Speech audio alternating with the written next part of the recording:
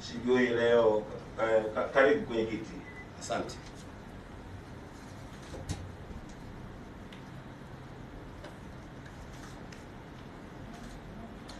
Karibu kwenye kiti au leo Leo, utaomba leo nitasimama, nitasimama leo, hamna neno. Shazoea kusimama.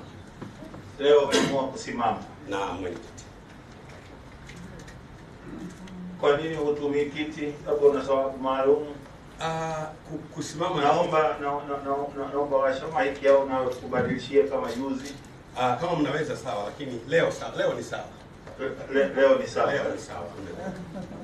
Sawa. Kwa hiyo leo umetumia maiki hi- hi- hiyo, tunakushukuru. Sasa nilikuwa nakuuliza, una sababu yoyote ambayo inakufanya usi, usikae kwenye kiti chochote? Niko comfortable kuongea nikiwa nimesimama. Una tatizo lolote la kiafya? Kama itakupendeza. Waheshimiwa waandishi wa habari, karibuni.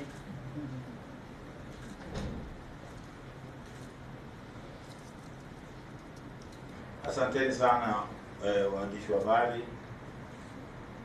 Kama ilivyo kawaida yetu ni kwamba shauri linapotaka kuanza, basi huwa tunawaruhusu nyinyi mweze kutuitisha, labda kama kuna jambo lolote hata moja tu, naruhusu kama mtaka ku- kuuliza kabla hajatoka ili tuendelee na kikao. Nadhani hakuna, kwa tunaomba waandishi wa habari mtupishe tuweze kuendelea na shauri iliyoko mbele yetu la Mheshimiwa Josephat Mwajibu.